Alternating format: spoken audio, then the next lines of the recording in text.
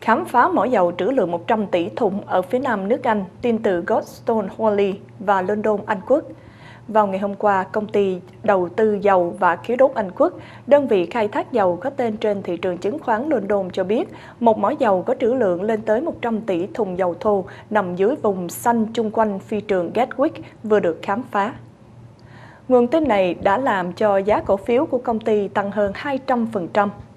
và khiến cho giới truyền thông quốc gia đổ xô đến vùng được gọi là Dallas của nước Anh. Tuy nhiên, các nhà phân tích kỹ nghệ dầu hỏa đã đưa ra lời kêu gọi cẩn trọng trong lúc trước tin vừa được công bố, trong khi Chủ tịch Hội đồng Quản trị Công ty Dầu và Khí đốt Anh Quốc David Lenegas nói rằng đây là khám phá hết sức quan trọng Ông này cho rằng trữ lượng của mỏ dầu vừa được khám phá có thể lên tới 158 triệu thùng dầu thô mỗi một dặm vuông tại một vùng rộng tới 1.100 dặm vuông.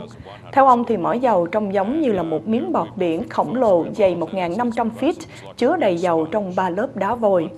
Vùng mỏ dầu được khám phá tọa lạc tại vùng lòng chảo Wigard ở phía nam của nước Anh, một khu vực nông thôn rộng lớn gần phi trường và tiếp giáp vùng mỏ dầu thềm lục địa lớn nhất Liên Âu. Công ty này ước lượng có đến hàng chục giếng dầu cần được khai thác.